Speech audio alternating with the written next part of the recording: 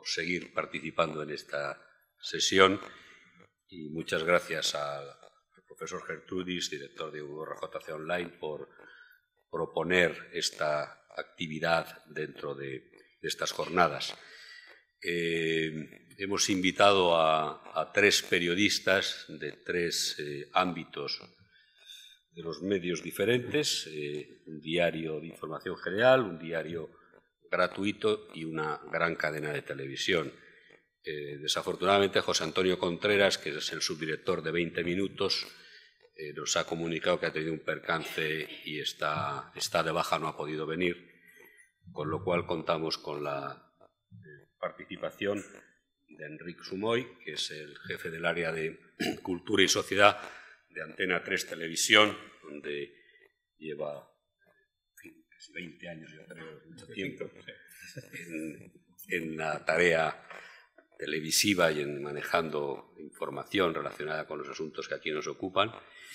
Y Juanjo Becerra, del diario El Mundo, donde tiene, entre otras responsabilidades, la competencia sobre el suplemento Campus. Eh, el asunto central, objeto de esta eh, reunión, de este seminario, la, la innovación docente, eh, nos atañe, yo creo, bastante a los medios de comunicación. Y yo como director de comunicación de la universidad, pues eh, tomo un poco el pulso todos los días al tratamiento que los medios de comunicación van haciendo de estas cuestiones.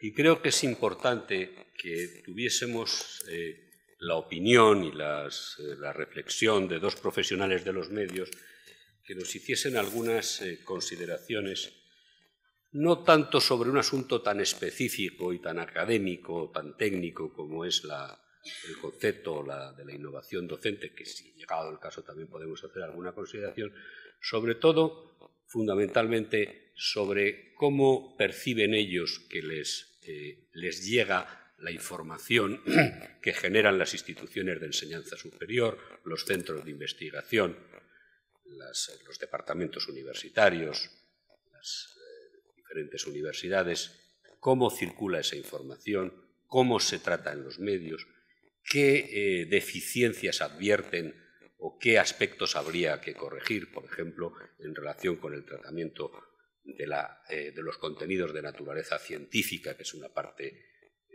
notable del quehacer de los, de los académicos, y que quienes hemos estado en los quienes están en los medios o como es mi caso quienes hemos estado también en otras oportunidades el otro lado de la trinchera, pues eh, siempre hemos detectado ahí eh, graves problemas eh, para comunicar o llevar al ánimo de la, opinión pública el, principio, lo que llaman los norteamericanos la adhesión a la ciencia, es decir, que la opinión pública, los ciudadanos, respalden el quehacer científico. Ahí hay un problema que tiene que ver, yo creo, bastante con las insuficiencias o las incapacidades o la, o la falta de sensibilidad de, los, de los científicos, de los, investigadores, sobre todo en el ámbito de las ciencias experimentales, que a veces no tienen los recursos suficientes desde el punto de vista dialéctico y de la, competencia para, digamos, suavizar o atemperar eh, el lenguaje y traducir un poco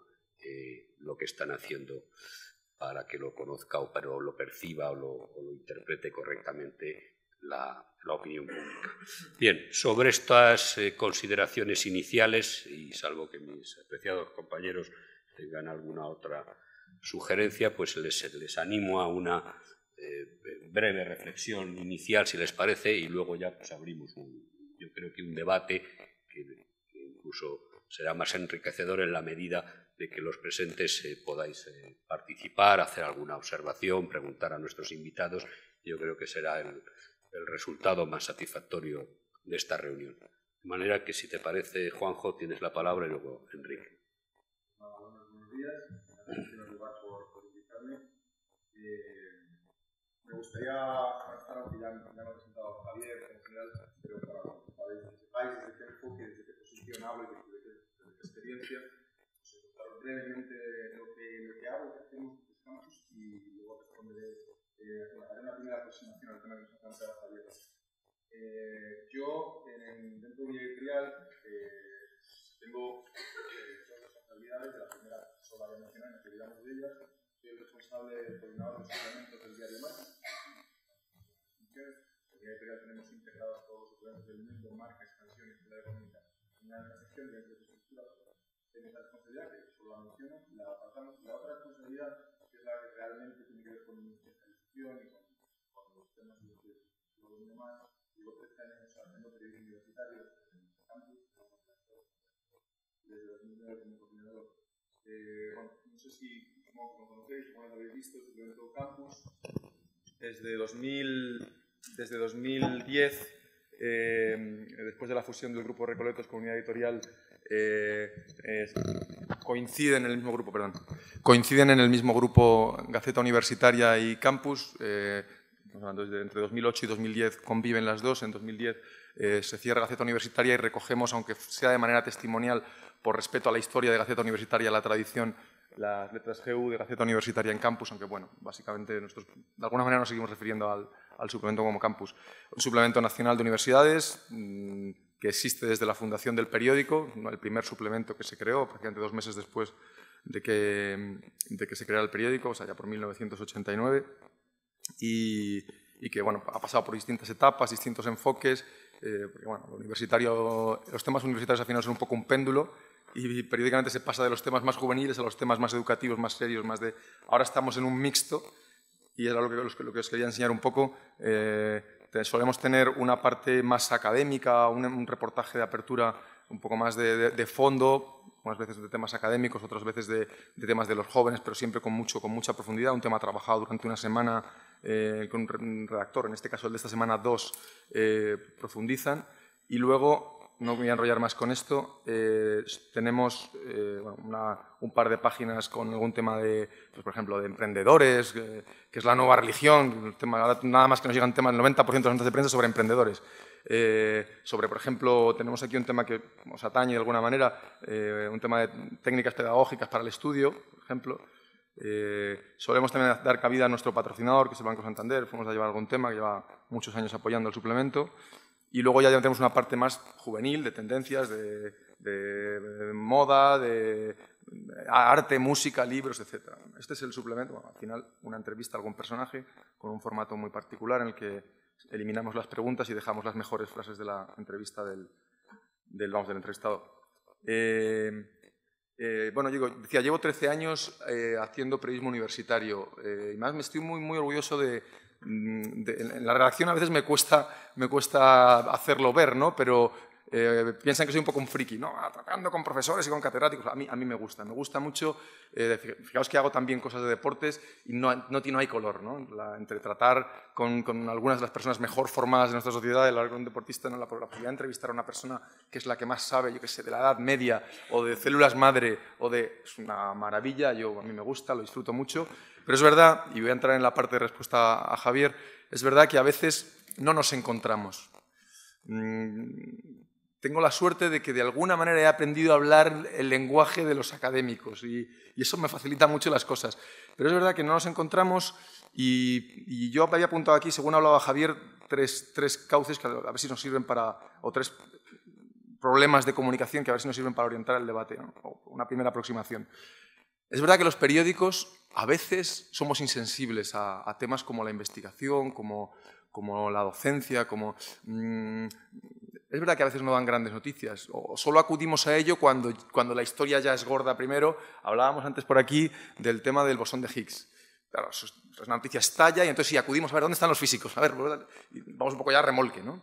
Pero es verdad que si no hay ese gancho, nos cuesta. ¿no? A mí me cuesta vender mis temas de campus eh, para el periódico. ¿no? Ayer mismo, antes de ayer, yo tenía un tema que a mí me parecía muy bueno, que es el que se publicó, el que os acabo de enseñar.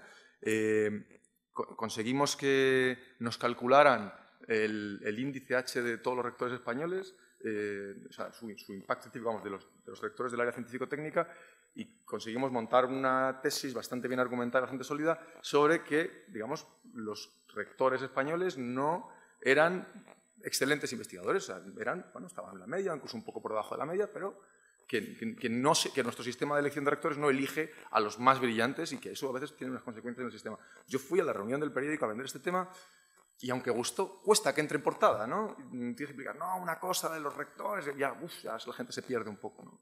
Entonces, es verdad que los periodistas tenemos una falta de sensibilidad.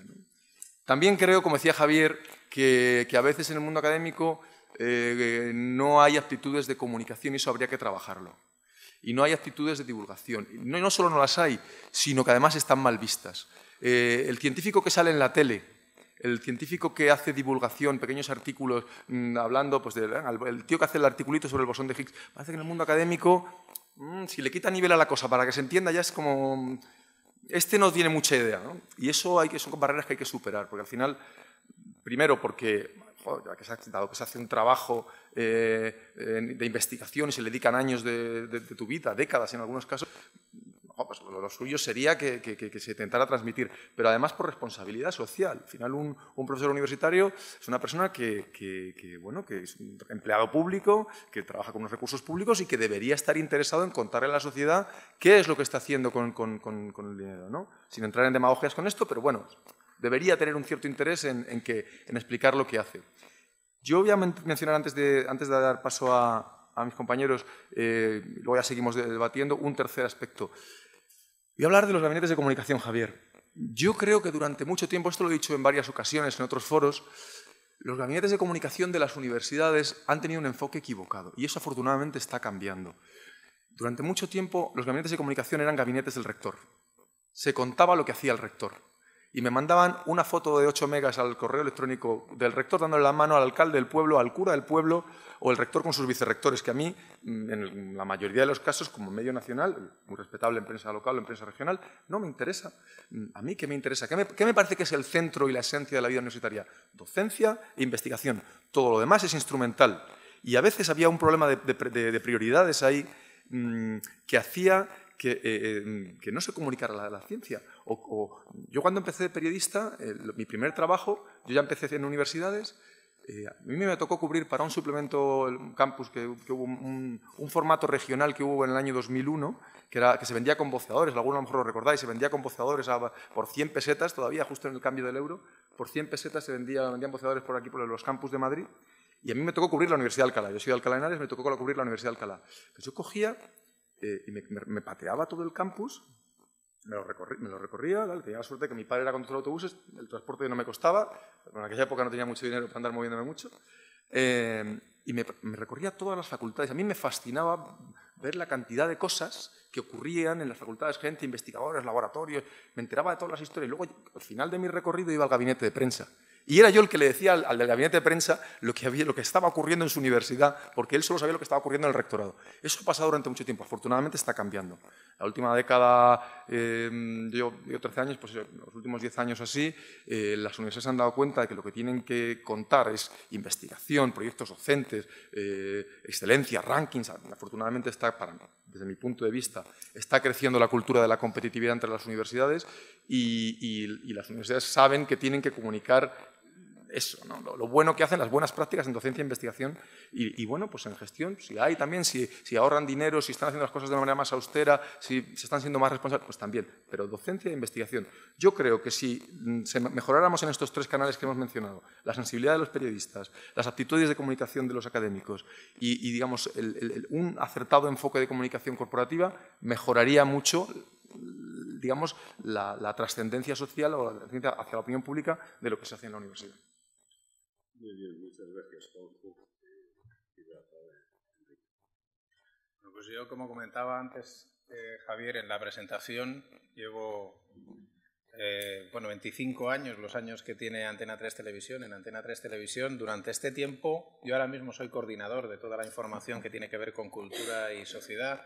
Dentro de sociedad está toda la información que tiene que ver con educación, pero también casi, vamos, casi el 90% de todo lo que tiene que ver con investigación y por lo tanto yo ahora mismo soy usuario de la universidad eh, en el sentido en que necesitamos de los expertos de la universidad para que nos expliquen muchas de las cosas que nosotros tenemos que contar. Soy usuario de la universidad en cuanto a que la universidad también es foco de información y por último usuario de universidad en cuanto a que la gente que nos llega viene formada desde la universidad. Entonces, en estos 25 años yo creo que ha cambiado mucho en, los tres aspectos la universidad. El aspecto que comentábamos antes sobre las dificultades de acceder a los expertos para que nos expliquen cosas es de los que va evolucionando, pero no evoluciona al ritmo que los otros dos. Seguimos teniendo mucha resistencia. Yo creo que es verdad que tiene mucho que ver con eso de que se considera, sobre todo medios de comunicación en general, pero en televisión especialmente, que pasamos por encima de las cosas y nunca sin profundizar, ser un medio hostil para alguien que quiere ser riguroso en su trabajo. Y entonces, en ese sentido, es verdad que para nosotros nos encontramos con mucho rechazo a la hora de explicar las cosas y, sin embargo, mucha facilidad a la hora de criticar como las, como las explicamos. Entonces es un poco una contradicción, porque nuestro afán no es explicarlo mal, desde luego, cuando mejor lo podamos explicar, pero con las limitaciones que nuestro trabajo tiene. Nosotros hacemos piezas de como máximo minuto y medio en el mejor de los casos. Tenemos que contar las cosas en un minuto y medio. Eso para un experto es sacrilegio directamente. Es decir, llevo estudiando esto cinco años, ¿cómo te voy a contar ahora en minuto y medio el, el resultado de mis cinco años de, estudio? Pues hay que hacerlo. Hay que hacerlo y hay que hacer un esfuerzo porque si no esos cinco años de estudio no llegan a la gente. Entonces ese esfuerzo todavía nos cuesta mucho. Aquí se nota una diferencia brutal entre la gente que lleva... Mm, o sea, o sobre todo gente que ves que ha pasado por universidades americanas yo creo que esa es la clave muchas veces que cambia la mentalidad de los investigadores a las que nos dirigimos. Entonces, por ejemplo, eso se da mucho en, las áreas experimentales, donde enseguida das con alguien que ha tenido una experiencia americana y viene muy clara eh, que lo tiene que explicar, porque en, en, las universidades donde han estado investigando les obligan directamente, es que no es, no es si quieres lo explicas, no, o lo explicas o lo explicas, o lo explicas o investigas, pero no puedes hacer una cosa sin hacer la otra y, eso va mejorando en ese sentido, enseguida notas gente con experiencia y, que además lo interioriza ¿no? y, da gusto. Da gusto cuando lo encuentras, porque si no, también veo que muchas veces te encuentras con un investigador que para nosotros es un investigador, pero para él es una, persona que forma parte de un engranaje de una empresa, porque al final la universidad es su empresa, en el que tiene un jefe, yo no te voy a hablar, creo que debe hablar tu jefe, y entonces todas esas cosas también ponen muchas limitaciones con el problema añadido que nosotros llevamos. Es decir, nosotros tenemos muy poco tiempo para contarlo y muy poco tiempo para desarrollar la explicación. Es decir, nosotros, si a las 10 sale la noticia, a las 3 tiene que estar hecha. Y no cabe el mañana lo cuento, mañana yo ya no consigo vender esa investigación en la reunión de, de escaleta que nosotros le llamamos la reunión en la que exponemos los temas. Entonces yo creo que sí que hay que seguir fomentando y ayudando muchas veces a los departamentos de prensa, porque es verdad que muchas veces desde el departamento de prensa ves la intención, dices, te busco a alguien y pasa el rato y pasa el rato y pasa el rato, y del departamento de prensa no consigues y, me lo, y te imaginas a uno llamando a las puertas de, de los investigadores, profesores, pidiendo, oye, ¿puedes hablar? ¿Para qué medio? Tal, pero ¿a qué hora vienen? Pues me va fatal, la tele me pone nervioso y ese tipo de cosas yo creo que hay que hacer mayor esfuerzo.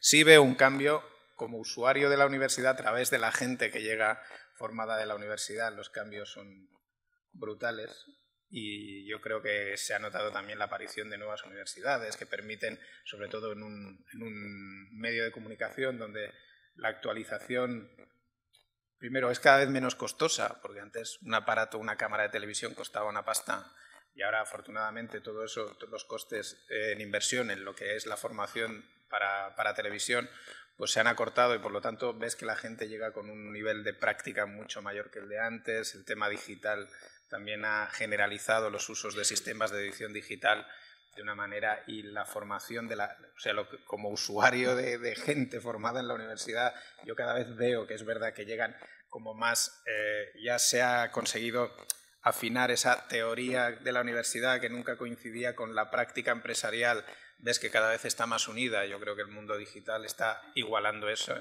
desde luego en medios de comunicación, pero también en otros medios. Es decir, eso ha facilitado mucho que, los dos vayamos un poco ya acercando, no son vías muy separadas, cada vez están más juntas y eso es una gozada observarlo en la gente que va llegando. Y después sí creo que también ha mejorado mucho cómo la universidad da noticias, nos lanza noticias sobre lo que están investigando eh, lo que se mueve dentro de la universidad. O sea, ya no es solo utilizar a sus expertos para que nos cuenten investigaciones que no tienen que estar realizadas por ellos, que es otra cosa que también crea mucha aversión. ¿Cómo te voy a hablar de esto si no es mi estudio? No, si yo sé que no es el, el, sociólogo americano que firma este estudio, pero yo creo que una opinión de un sociólogo sobre el uso de los móviles tiene un valor distinto a que me lo diga alguien por la calle. Entonces no estoy pidiendo una gran opinión, estoy pidiendo solo que alguien me centre un poco mis dudas sobre este aspecto. Y si no he hecho un estudio específico sobre eso, prefiero no hablar. Pues, por favor, es que al final me va a hablar el que menos me interesa, porque hay gente muy imprudente también hablando sobre los temas. Entonces yo creo que hay que, eh, lo que hablo de las, de las vías separadas y unirlas, es decir, en la medida en que los medios no sean la palabra es fuerte, ¿no? pero denostados por parte de los investigadores, también va a ser más fácil que los medios sean rigurosos en la forma en que dan información, porque muchas veces cuando ves a una persona desde el punto de vista de un docente o de una persona que conoce el tema, dirá, ya está hablando este, si no tiene ni idea. ¿Por qué hablo con ese? Porque todos los demás no me hablan. Entonces, eh, eh, y eso va en detrimento del medio, o, sea, eh, o en detrimento de lo que los investigadores piensan sobre el medio, pero al mismo tiempo también en contra nuestra, porque nosotros no vamos a esa persona porque sí, sino porque es la única que habla sobre el tema. Entonces, yo creo que hay que ir afinando esas dos corrientes y a ver si conseguimos que nosotros hagamos un trabajo más serio y que todo el mundo entienda el esfuerzo que se está haciendo dentro de, los muros de la universidad, que muchas veces es incomprendido y, creo que es injusto que la sociedad no valore adecuadamente el trabajo que se hace dentro de las universidades. Muy bien, muchas gracias, eh, Enrique. Yo creo que se han puesto sobre la, mesa por parte de los dos ponentes eh, cuestiones suficientes como para, para animar un, debate. De plantear eh, cuestiones puntuales que, que os susciten curiosidad al hilo de lo que se ha dicho o cualquier otra consideración. Abrimos un turno de palabra. ¿Alguien quiere hacer una pregunta?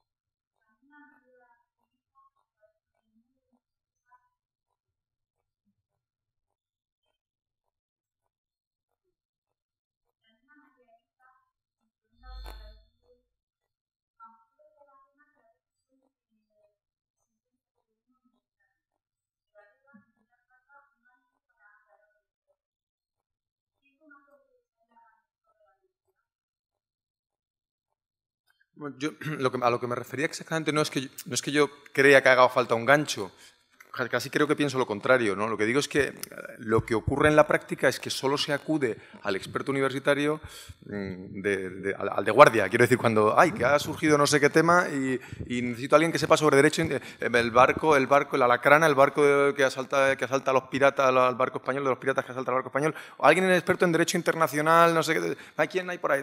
¿A quién tiene un móvil? Una cosa que hago a veces en la redacción, que me, pasa a menudo, es eh, que acuden a mí. Oye, ¿quién conoces de derecho internacional? ¿Quién conoces de...? Estamos buscando un biólogo molecular. Tiro de agenda, pues mira, tengo esta persona que es... Una cosa que pasa, por cierto, ahora que me viene a la reflexión, es que eh, creo que también Enrique lo ha, mencionado. Eh, hablas en una ocasión con alguien que te funciona muy bien, que te lo explica muy bien, que queda muy claro y, por, sueles recurrir a la misma persona para, para los mismos temas porque dices, este, esta persona lo comunica muy bien, este profesor me lo contó bien, quedó claro.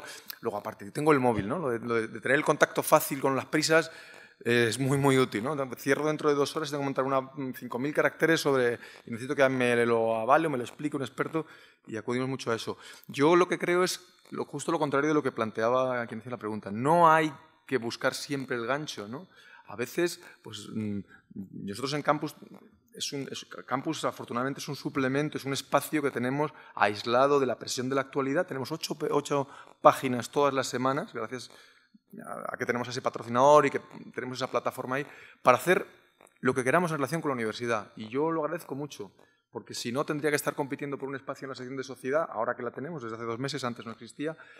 Antes solo teníamos la sección de Nacional, España, eh, y competir frente a terrorismo o frente a periodismo parlamentario o frente a decir, ábreme un hueco para un tema de universidad, unos tíos que están trabajando con células madre o, que, o, unos tíos que han creado un robot que va a ser la leche. muy complicado. Yo creo que hay que generar espacios fuera de la presión de la actualidad, porque si no es muy, muy difícil. Más preguntas.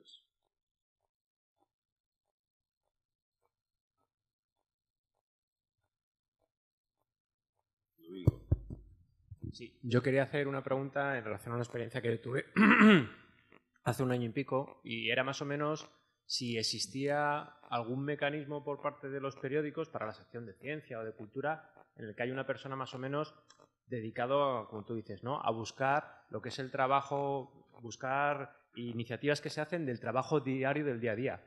Porque yo creo que a lo mejor en muchas ocasiones eh, esperamos a la noticia, yo qué sé, yo soy de ciencia de la salud. Lo del ébola en nuestro campus y tal es una cosa que ya se hablaba de hace cinco años. Comentábamos mucha historia del ébola y de repente, seis meses después, aparece lo del ébola y nosotros, si es que esto ya se estaba hablando en nuestro, ¿sabes? Que eran cosas que ya se hablaban y se comentaban y de repente te sorprende que de repente lo del ébola, digo del ébola como cualquier otra cosa.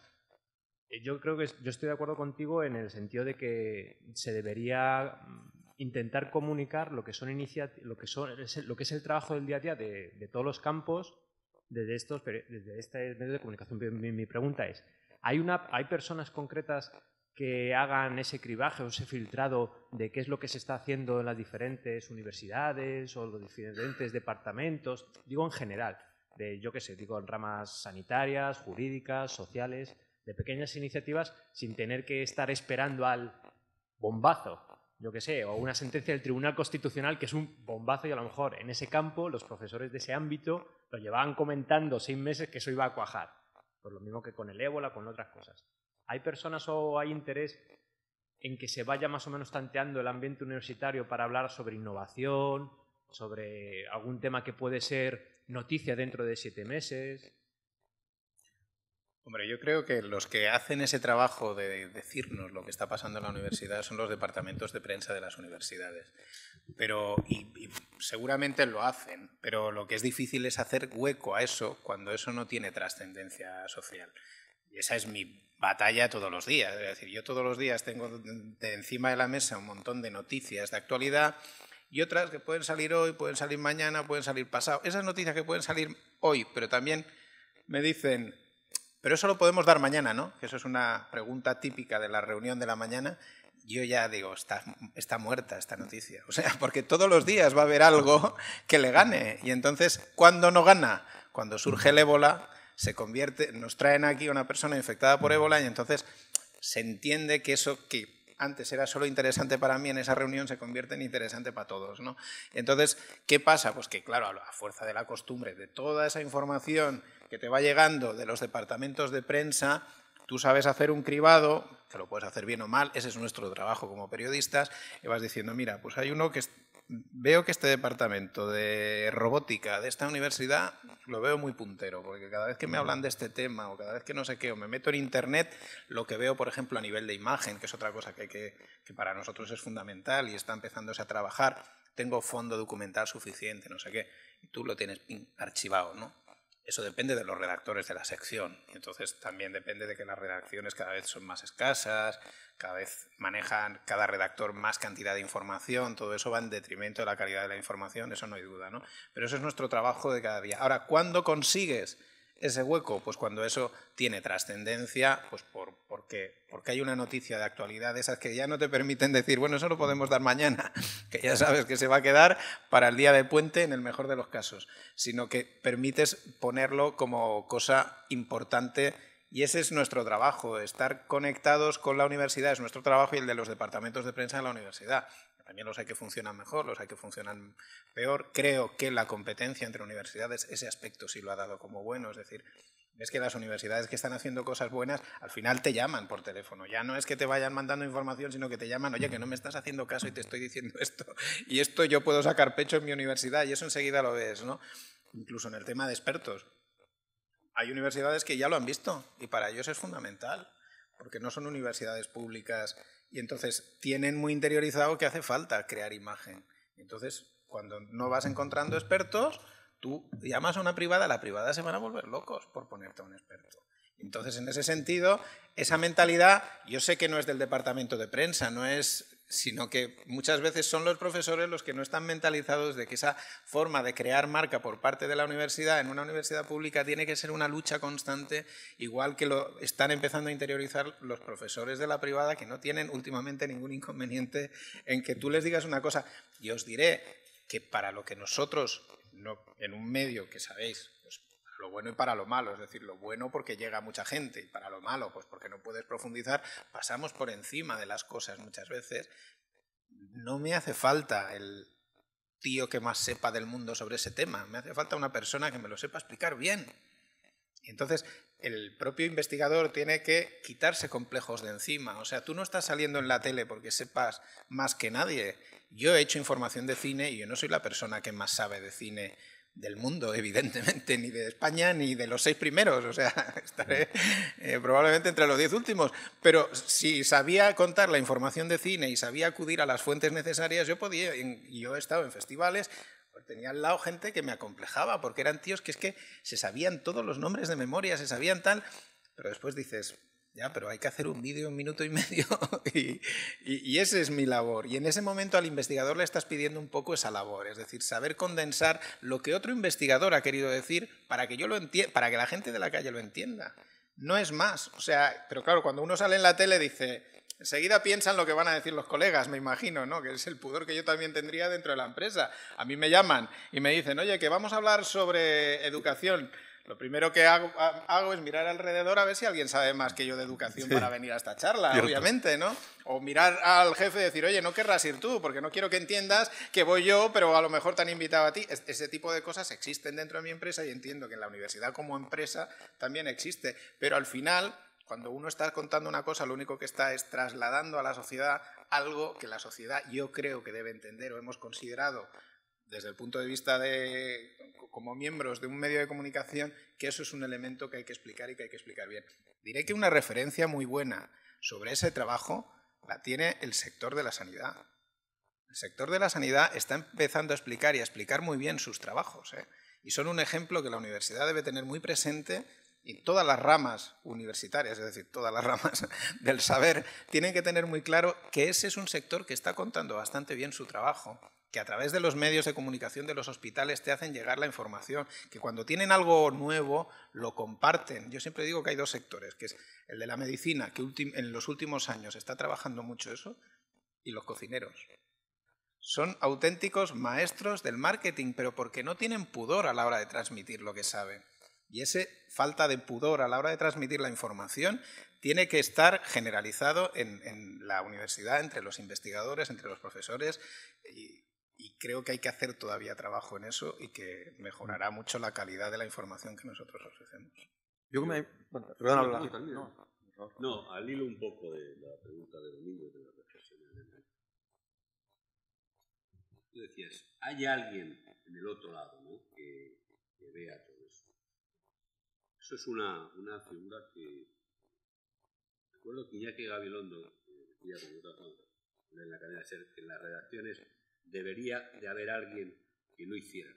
¿Este qué es, es, es lo que hace? Este es el que piensa. Bueno, pues eso es un poco la figura que tú apuntas, ¿no? Y la redacción es, es vértigo, es aceleración, es, es eh, el boletín de la hora siguiente, es el informativo de las tres, es el, el TD2.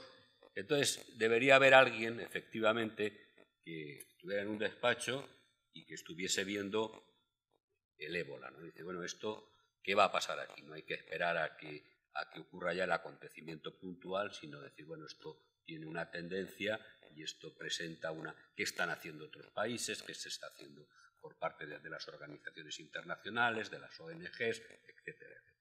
Eso por un lado. Con respecto al otro lado, lo que decía Henry, bueno, pues efectivamente en España somos 75 universidades, entre públicas y privadas. Y son 75 gabinetes de comunicación diariamente machacando a estos señores con las cosas más variopintas.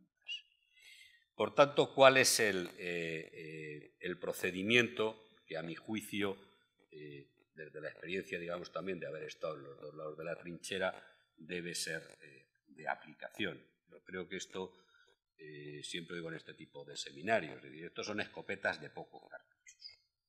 Por tanto, yo creo que cada vez que se dispara un tiro, eh, permítaseme la expresión fin, cinegética que muy ortodoxa, hay que abatir una pieza. Es decir, que tú no puedes estar mareando a estos señores cada día con, banalidades. Tienes que eh, proporcionar una información, un contenido que sea eh, tenga fundamento, que, este, que sea el resultado de una investigación que está suficientemente avanzada, que ha sido eh, refrendada por una revista científica, es decir, cosas que realmente merezcan que alguien ocupe su tiempo en valorarlo y ocupe su tiempo en llevarlo a eh, un consejo de redacción donde los responsables de área del periódico, de la cadena de televisión, de la, radio, de lo que sea, se reúnen eh, dos o tres veces al día y evalúan los contenidos. Entonces, ese es el procedimiento. ¿Qué es lo que debemos hacer desde las universidades? Pues afinar en ese sentido. Es decir, mm, comunicar o transferir a los departamentos de comunicación propuestas, pero que tengan, eh, sean consistentes y que justifiquen que se metan en el circuito, en, los canales informativos, en la agenda. Eso es un poco lo, quería decir un poco al hilo de tu pregunta. Juanjo. Yo, de, todas las, tres intervenciones, se me han ido ocurriendo cosas que creo que bueno, pueden, aportar al, debate. Eh, eh, tú decías, una persona que cuente el día a día. Así como tú lo planteas, el día a día, yo no no lo veo noticia. Quiero decir, una cosa es que no, que no tenga que hacer falta un ébola, un bosón de Higgs, un lo que sea, para, para, o una sentencia, decías tú, ¿no? del Tribunal Constitucional, para que sea noticia. Y otra cosa es que cualquier cosa sea noticia.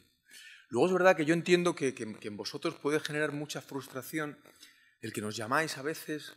A mí, por ejemplo, me llaman mucho, claro, muchas más de profesores, de gabinetes, o de, tengo un tema que va a ser, que creo que te va a servir.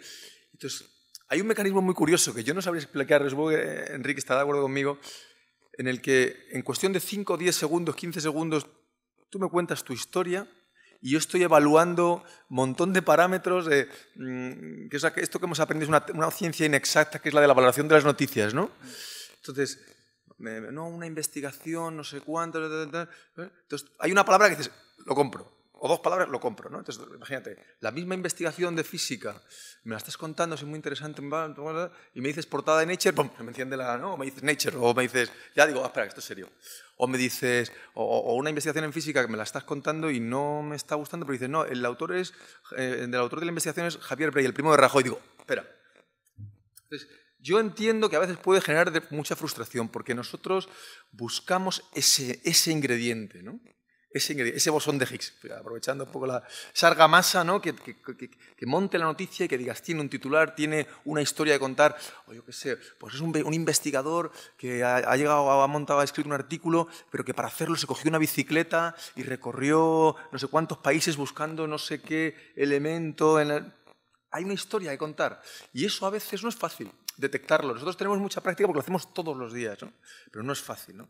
En cualquier caso, yo creo que, hay que, o sea, que, merece la pena el esfuerzo y que ahora ya, antes lo he dejado caer, ahora ya va a ser crucial para las universidades. O sea, que, que, haya un acercamiento y haya... O sea, el, el, teléfono de este señor lo deberíais tener todos los profesores en la agenda, aunque sea el fijo, o el de su equipo.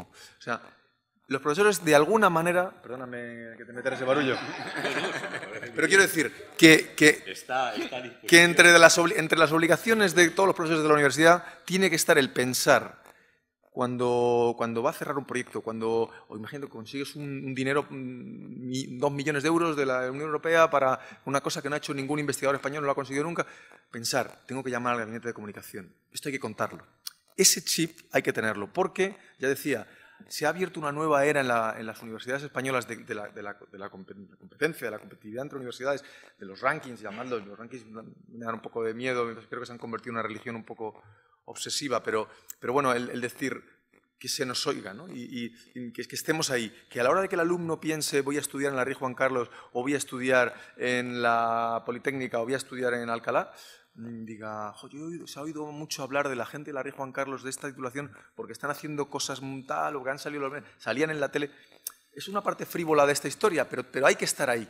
Y, pobre del que no esté ahí ¿eh? en los próximos años. Yo, yo creo que, que, hasta ahora hemos tenido un modelo de universidades clónicas en las que más o menos todas ofrecían lo mismo y los alumnos cogían la más cercana a su casa, pero eso va a cambiar.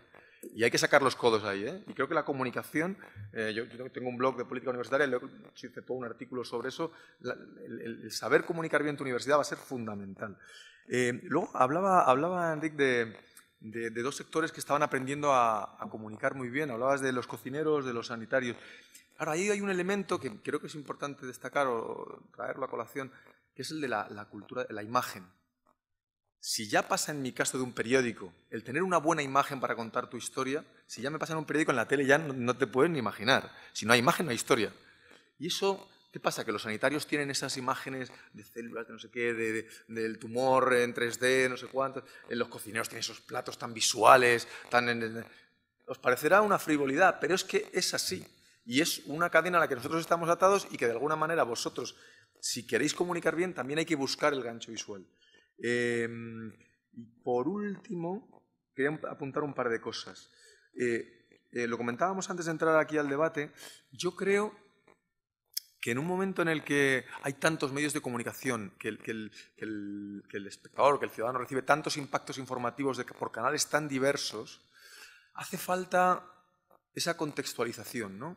En el caso de los medios, en el caso de los medios impresos, un periódico como el mío, con más motivo, porque ya tenemos la web, tenemos una web, eh, también tiene su web, pero, eh, pero en, la, tele pueden ir actualizando constantemente, los periódicos no. Los periódicos sales por la noche al día siguiente, ya hasta el día siguiente no vuelves a actualizar. tenemos las webs para seguir actualizando información. Y yo creo que los periódicos estamos caminando hacia formatos mucho más arrevistados, o es lo que todo el mundo dice que, que va a pasar en los próximos años y que ya está pasando. Y, en esos formatos revistados, en esa contextualización del impacto constante, creo que la universidad y los expertos universitarios tienen un papel fundamental. Eh, ya no te voy a estar machacando con la noticia de ayer, a, ayer no, a las 9 de la mañana, ya no te la voy a contar mañana el periódico de mañana, sino que te la voy a explicar, te la voy a contextualizar, te la voy a decir, esto que ya sabes desde ayer, que lo has leído en la web, que lo has leído en Twitter, que lo has leído tal, ahora yo voy a cogerme, voy a buscar ocho voces acreditadas y te voy a montar un curso especializado en ese tema para que sepas de lo que estamos hablando. Y creo que hay que, la universidad tiene que aprovechar ese filón. Y hablábamos de, hablaba Javier de, no quería dejar, dejarlo pasar sin comentar, de, la cantidad de información que recibimos ¿no? en, los medios de las universidades. Yo estoy en los mailings de las del 75, yo creo que es alguna más, yo creo que son hasta 81, depende si cuentas UNED, WIMP, etc. Creo que hay 50 públicas y 31 privadas, creo que son. Em, recibo 4 o 5 notas de prensa de 4 o 5 mails de cada una de esas 81 universidades a diario, alguna falla algún día, al día siguiente manda cuatro, muchas notas, muchos mails. El 90% de esos mails los borro sin leer. Pero no los borro sin leer, leo el asunto.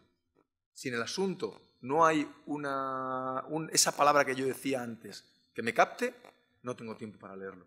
Si además en el asunto del mail tú me pones Gabinete de Prensa de la Universidad de Almería, has perdido ese segundo de, gloria. Y además me haces ir a un archivo adjunto. yo lo comento, yo lo comento mucho con los directores de comunicación. Si además me haces ir a un archivo adjunto que lo tengo que abrir, que tarda cinco segundos en abrirse, que el, Word falla, que no sé, el PDF falla, no tengo tiempo, borro. Si, es, si la noticia es importante ya me llegará. Entonces, ahí hay mucho trabajo por hacer. Mucho trabajo por hacer por vuestra parte, creo por los gabinetes, y no quiero, porque parece que yo también, lo he dicho lo primero de todo, la falta de sensibilidad la quiero poner por delante. ¿eh? No quiero parezca que eso todo es culpa de la universidad. Nosotros a veces tenemos, y no tenemos tiempo, como te digo, lo borro sin leer, pero que es muy importante que, que tengáis eso en cuenta, ¿no? que, que, al final, en, una comunidad como la de Madrid, con, con, con, un sector de la comunicación tan potente, con tantos periódicos, con tantas webs, con tantas... es muy difícil colar una noticia, muy difícil. En Sevilla, probablemente a, a, la Universidad de Sevilla o a la Universidad Pablo de la Vide le dan cinco páginas todos los días en el diario de Sevilla o en el ABC de Sevilla pero Madrid es un mercado muy competitivo en la información. Y, y, y universidades como la Rey Juan Carlos, como la Autónoma, se frustran muchísimo porque cuesta mucho. Y a veces cuando sales con un enfoque polémico, un enfoque, porque ese elemento de la polémica siempre compramos. ¿no? Y puede que demos una versión muy sesgada porque estamos buscando... Entonces yo creo que por eso quería decir que tenemos que hacer nosotros también un, esfuerzo de comprar los enfoques positivos, de, de, estar un poco más receptivos a historias y tal. Pero ¿Más cuestiones?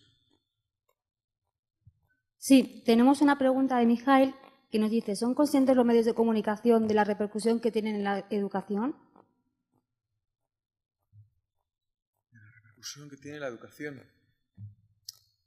No sé muy bien cómo responder esa pregunta. Eh, yo creo, tengo, yo tengo una, opinión, una reflexión que, a veces la, cuento, ¿no? que a veces yo prefiero, hay muchos momentos en los que prefiero que la educación no sea noticia a que sea noticia con los enfoques con los que se suele tratar la información en el, en la, en el, en el barullo de la información de actualidad.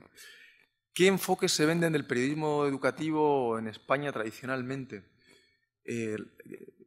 la, última, la última reforma de ley de educación. Al final nos pasamos tres meses hablando de religión sí, religión no. Tenemos un problema del sistema educativo tremendo, un problema de resultados tremendo, unas carencias diagnosticadas por informes como PISA, eh, etcétera, eh, en matemáticas, en lengua, y luego nos tiramos tres meses hablando de educación para la ciudadanía. Yo Quizá porque mm, me he formado en esto, en una isla, como os decía, como es campus, es que a veces prefiero que no se hable de educación y que haya transformación en la realidad eh, y que, el cambio se produzca en las aulas y que se produzca en los medios. Porque cuando, cuando la educación va a titular grandes titulares, nunca es por, cosas buenas. Nunca es para contar, casi nunca es para contar eh, este colegio que lo está haciendo muy bien, que tiene raras veces, ¿no? Yo, y no tengo claro que la, educación tenga mucha repercusión mediática, no sé si es algo que se, si se refiere a mediática. Sí tengo claro, si, tengo que entender de otra manera la pregunta, si se refiere a, que la educación hace país, lo tengo clarísimo. O sea, yo estoy convencido de que si conseguimos eh, poner el énfasis necesario en lo trascendental que va a ser la educación en la universidad para cambiar este país, eh, este país podría ser algo muy distinto y mucho mejor en los próximos años, pero haría falta que, los partidos políticos se pongan de acuerdo, que, dejen planteamientos de guerra civil y empecemos a hablar en positivo de la educación y dejemos de hablar de educación para la ciudadanía sí, educación para la ciudadanía no, religión sí, religión no. Ha hecho falta que a Íñigo Rejón le dieran un contrato de investigación en circunstancias de, dudoso rigor académico y con dudosos resultados para que nos tiremos tres semanas hablando de universidad. Entonces, yo tengo claro que la universidad, que cambiar la universidad es fundamental para cambiar este país, pero a ver si nos damos cuenta los medios en general, los ciudadanos, y, es el cambio de este país. Para mí empieza por el cambio de la educación en la universidad. Sí, a mí, vamos, yo no sé si se refieren solo a, desde el punto de vista de informativo o habla de la capacidad de los medios como como medio educativo. se me escapa un poco la respuesta en eso, porque claro, yo estoy dentro del ámbito de noticias y yo creo que las noticias bien hechas, mal hechas o mediocremente hechas eh, tienen una capacidad de influencia, mm, a veces vienen sesgadas por motivos políticos, la batalla, por ejemplo, sobre la reforma educativa muchas veces te va marcando el ritmo, la polémica política y ves que está muy lejos de lo que realmente preocupa a los padres, en fin, todas esas cosas se dan. Ahora ya, como medios de comunicación, la capacidad educativa que tiene un medio de comunicación, yo creo que todos los medios de comunicación, los directivos de los medios de comunicación son muy conscientes de la capacidad que tienen los medios mm, y otra cosa que cada uno la utilice como la utilice y que la realidad te ponga en un sitio te ponga en otro. En eso siempre hay un debate sobre las públicas, las privadas, los límites que cada uno pone, no sé, un poco complejos de tratar.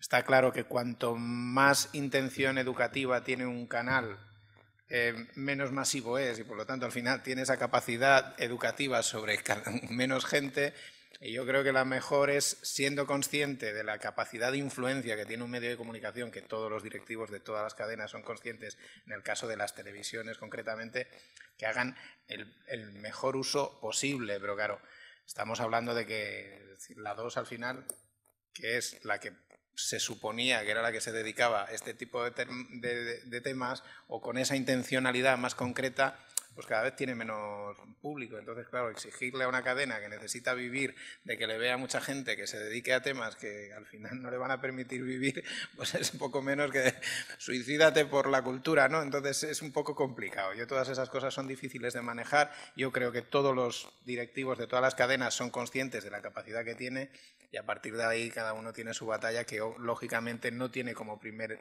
objetivo la educación, sino el negocio. Y a partir de ahí los hay que lo hacen con más prudencia o de forma más imprudente, pero no es el objetivo número uno de ningún gran medio de comunicación. si son conscientes de la capacidad y si sé que se marcan límites, eso es obvio, más allá de las regulaciones que te obligan a una serie de cosas, es verdad que cada medio tiene una línea editorial y esa línea editorial viene marcada por los principios que tú quieres transmitir a la sociedad. Entonces cada uno lo rebasa o lo rebasa a partir de una determinada hora o no lo rebasa nunca o está en la obligación de no rebasarlo. En el caso de, de, las televisiones públicas, que creo que sí que son las que más obligación tienen en ese sentido. Pero todos son conscientes y nadie hace locuras sabiendo que las está haciendo. Otra cosa que las, las puede hacer de manera inconsciente, ¿no? pero nadie se dedica a hacer cosas con la intención de, de que esa influencia que tiene en la sociedad sea negativa para la sociedad. Creo que con esa intención no trabaja nadie. Sí, yo, creo también, al hilo de esta argumentación, que la, universidad, probablemente no de una forma consciente, pero ha renunciado a un principio clásico, que es el principio de la autoridad moral, del magisterio. Es decir, eh, hoy eh, yo creo que es excepcional si hiciésemos una, una revisión de las eh, voces que se pueden escuchar en la universidad, prácticamente eh, no hay ninguna eh, voz que, provoque, digamos, aliento y provoque reflexiones de consistencia. Es decir, esto que en España fue un hecho, eh, por ejemplo, en los años 30, de una evidencia aplastante, es decir, la, figura de, de Ortega, de Marañón, de Pérez de Ayala, de don Pío del Río Ortega, de, toda la playa del propio don Juan de Green, es decir, toda la playa de científicos, de humanistas, eh, Jiménez Díaz, eh, Cajal. Esto ahora mismo eh, no existe en las universidades. Y en aquel momento la gente iba a los teatros, iba a las plazas de toros a escuchar conferencias de Ortega de don Ramón Pérez de Ayala. Ahora el papel de la autoridad moral de la, universidad, desgraciadamente, yo creo que brilla por su ausencia. No hay eh, luminarias, no hay nadie que oriente, que ilumine, que, identifique y que reflexione con, la suficiente solidez sobre lo que está aconteciendo. Yo creo que eso también tiene que ver con, el, la posición que tiene la, educación eh, en el ámbito social, ¿no? En, dentro de, y, el tratamiento que, que, dan los, que dan los medios también. Eh, hay excepciones, como en todas partes, y probablemente discutibles, ¿no? Pero eh, me comentaban el otro día de una cadena de televisión donde hicieron un, cierto experimento en el sentido de, incorporar a un programa a un, a un, filósofo español. Y les fue, les fue bastante bien el pico de, audiencia. Bueno, fue la sexta y fue recientemente en el programa de los sábados, en el último tramo, que llevaron a, Fernando Sabater para ver cómo funcionaba. Se ha conocido el experimento este del periodismo de, pizarra y, parece que, funcionó. Eh, quiero decir con ello que probablemente los medios también no van a, a poner una plataforma, una tribuna para que vayan filósofos o, historiadores a, opinar, pero si esas voces dijesen cosas con sustancia y con consistencia, probablemente tendrían también eco en los, medios. Más, más preguntas o más observaciones. ¿Lo dejamos aquí? Vale, pues estamos, hacemos caso al director de las jornadas y agradezco mucho a, nuestros dos invitados participación. Tienen la, las puertas abiertas y yo me comprometo a darles eh, la, guerra justa como director de comunicación de esta casa. Eh, muchas gracias a los dos.